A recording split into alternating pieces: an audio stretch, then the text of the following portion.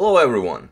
Aron Nimzowitsch was born in Russia, although he's considered to be a Danish uh, chess master, and uh, he was a well-known writer, uh, but also he was considered to be one of the strongest players in the world. Uh, from in the period of 1920s to 1930s, uh, he was considered to be the third strongest player in the world, uh, bested only by Alexander Alekhine and Jose Raul Capablanca. He even defeated uh, a couple of times, even drew one match against him, even though it consisted only of two games, but he never managed to defeat Capablanca. And uh, this game was played in 1927, uh, Aron Nimzowitsch uh, with the white pieces against Systemsson. Uh, except it wasn't. Uh, this game was actually composed by a very good friend of Nimzowitsch, uh, Mr. Hans Kmoch. because, well, Nimzowitsch was known to be somewhat of an eccentric, and this one time Hans, Mo Hans Kmoch was directing a tournament held in Bled in 1931 and uh, well, uh, the queen herself was expected to arrive at the tournament with her children, and uh, Aron Nimzowitsch uh, walked uh, to the tournament hall only wearing a bathrobe. So he sat there in the middle of the tournament hall, and he was almost naked. And uh, Hans Kmoch was outraged. he, he thought that well, the queen might arrive, and look at this Nimzowitsch guy here. He's just you know sitting naked in in in, in the middle of the tournament hall. And uh, so he grabbed Nimzowitsch and uh, he kicked him out of the door. And uh, well, uh, Nimzowitsch considered this to be very funny, and so um, so this game was probably composed as, as a way uh, for Hans Kmoch to get back at Nimzowitsch, as uh, did play a very famous game in 1923 called the Immortal Zugzwang game, and I will show this game on my channel on some other occasion. So Hans, Hans Kmoch actually published this game as if uh, Aron Nimzowitsch was playing it, and uh, he called it uh, the Immortal Overprotection game. So let's see this uh, game not played between Aron Nimzowitsch and Systemsson. uh, we have e4 by Nimzowitsch and e6, the French defense. And here Nimzowitsch plays h4. And he says that, well, to an untrained eye, or even to a very strong player, this might seem like a weird move, but it's actually a brilliant move. Uh, so black replies d5, and here Nimzowitsch says, uh, well, black replies as if this was a normal French defense, but it's not, and he plays e5. And here Nimzowitsch says that, well, although uh, this e5 pawn is a weak pawn, uh, the move e5 is actually a very strong move, as you'll see later in the game. So black replies c5, and here Nimzowitsch uh, again says that, well, black is simply continuing to play as if this was a normal French defense game. So he plays d4, and uh, Nimzo says that, uh, well, this is a lot better than playing d4 on, on, move 2 because uh, this, uh, uh, well, black is usually allowed to play c5 to attack your d4 pawn, but now Nimzowitsch plays d4 to attack black's c5 pawn. So we have c captures on d4, and now Nimzo plays a brilliant move. He, he goes h5, and he says that, well, this move will definitely decide the, the outcome of the game. Uh, we have queen to b6 by Systemsson, and now h6, a very deep pawn sacrifice. We have knight captures on h6, and uh, now Nimzowitsch plays queen to h5. And uh, to an untrained eye, again, this would seem like a very weird move because, uh, well, this practically invites black to play g6, which he does. He gets rid of the queen on h5 and, well, he's preparing to develop the bishop on g7 and start attacking this weak e5 pawn.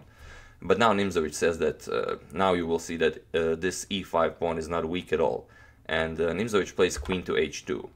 And uh, now you see that uh, this queen is protecting the e5 pawn extremely well, and uh, this e5 pawn is really cramping up black's position. So we have knight to f5, as the knight was attacked on h6. Uh, we have bishop to d3, uh, knight to c6, now attacking that e5 pawn, and now Nimzowitsch says, although knight f3 is a pretty standard move, uh, in this game it's, it's a brilliant move because it now adds overprotection to the e5 pawn. And he goes knight f3. Uh, we have h5, black is ready to, develop this bishop, and uh, this h5 move also prevents uh, white from, uh, well, infiltrating with his dark square bishop. And uh, here Nimzowitsch sets a brilliant trap, he plays b3.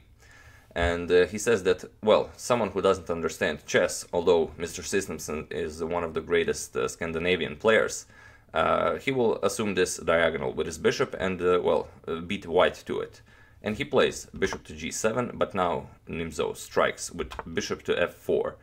And now Nimzo says he was never really planning to develop this bishop to b2, as though now he's protecting this e5 pawn three times. So we have bishop to d7, and now knight b to d2. Uh, we have rook to c8, And here Nimzo says that uh, black played rook to c8 because, well, he simply doesn't have a good move in the position. And now, another brilliant move by Nimzowitsch, we have king to e2. Uh, this is preparing rook to e1 to add even more protection to the e5 pawn. As Nimzo says, uh, he who overprotects uh, wins the game. Uh, we have knight to b4, and now another brilliant move by Nimzowitsch, he plays knight to e1. Uh, we have knight captures on d3, knight captures on d3, and now rook captures on c2. And Nimzo says that capturing this pawn is a total waste of time for black, and uh, well, this this c2 pawn is completely irrelevant for the rest of the game. And uh, we have rook a to e1, adding even more protection to this e5 pawn. We have a5, and now king to d1 with a, with a tempo on the rook. Uh, we have rook to c6, and now rook to e2, preparing uh, to double up on the e file to add even more protection to the e5 pawn. We have king to e7, and uh, we have rook h to e1. Now this e5 pawn is uh, really protected. And uh, now Nimzo says, well, black black is probably starting to copy uh, Nimzowitsch as now black starts uh, overprotecting his e6 pawn.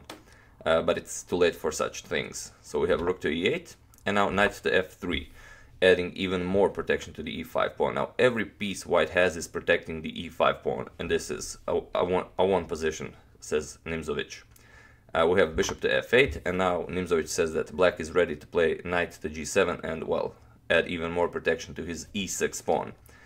And now uh, uh, bishop to g5 is, well, definitely the best move here, uh, but Nimzowitsch plays an even better move. He plays g4. Uh, black responds with h captures on g4, attacking the knight, but now queen to h7 is coming. And uh, Mr. Systemsson captures the knight. g captures on f3, and, well, Nimzowitsch ends the game with bishop to g5 checkmate. And uh, even if uh, black didn't capture this knight, if he played something like, uh, well, knight to g7 to block the queen and also to allow him to go f6, uh, then simply bishop to g5 check, f6, bishop captures on g5 with, uh, on f6 with check, king to f7, and now knight to g5 with checkmate. And, uh, well, I'm sure this was very funny, both the Mr. Hans Kmoch and, and I'm sure Nimzowitsch found this very amusing uh, even though after, for example, after queen to h7, uh, if black decided to play rook e to c8, this is, well, this is completely winning for black. White doesn't really have any counterplay here. Uh, but uh, as this was a composition by his good friend Hans Kmoch, uh, the game ended in bishop to g5 with checkmate. So yeah, it's uh, well, it's a game that never really happened, but, but it is a beautiful game. So nice one, Mr. Hans Kmoch.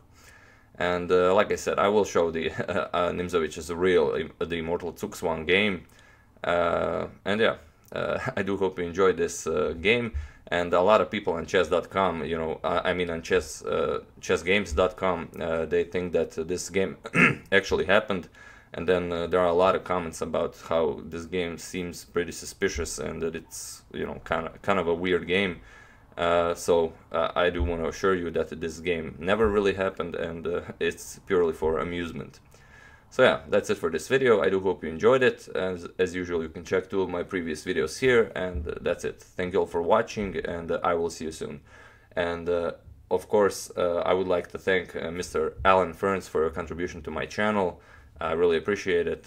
thank, you, thank you a lot, sir. So yeah, see you soon.